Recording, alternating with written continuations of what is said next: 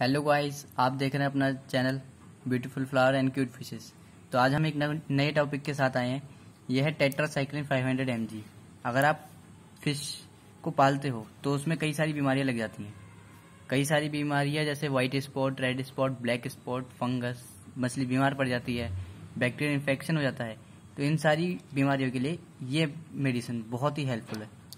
ये tetracycline 500 M और आप इसको कैसे यूज़ कर सकते हैं? आपको पहले फ़िश को देखना पड़ेगा कि आपकी बीमारी कौन सी है। Black spot white spot red spot उसके हिसाब से आपको वाटर चेंज करना है फ़र्स्ट फिर उसके बाद आपको उसमें मेडिसिन ऐड करनी है। डायरेक्ट मेडिसिन मत ऐड कीजिए। पहले उसे ग्लास में मेडिसिन को घोल के रख लीजिए। फिर उसको वाटर में ऐड टैंक में ऐड कीजिए। फिर उसके बाद आप 24 घंटे होने के बाद थर्टी परसेंट वाटर रिमूव कीजिए। थर्टी परसेंट वाटर रिमूव करने के बाद आप वाटर ऐड कर और जो भी आपकी फ़िश है उसको आप बिल्कुल सेपरेट रख दिए हॉस्पिटल टैंक में। अगर आपको इस, आपकी सारी फ़िश को बीमारियाँ यही है तो आप ये टैंक में भी डाल सकते हो। अगर आपकी एक फ़िश को बीमारी है तो आप इसको उस मछली को सेपरेट कीजिए हॉस्पिटल टैंक में फिर उसके बाद ये मेडिसिन ऐड कीजिए। ये मेडिसिन कुछ ऐसी हो जाएगी आप अगर आप इसे पानी में घोलेंगे फिर इसके आप टैंक में अपने ऐड कर दीजिए।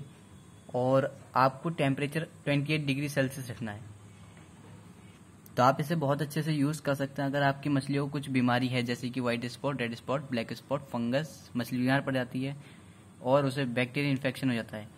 तो इन सभी चीज़ों के लिए आप ये यूज़ कर सकते हैं। और इंस्ट्रक्शन बहुत अच्छे से सुनिए।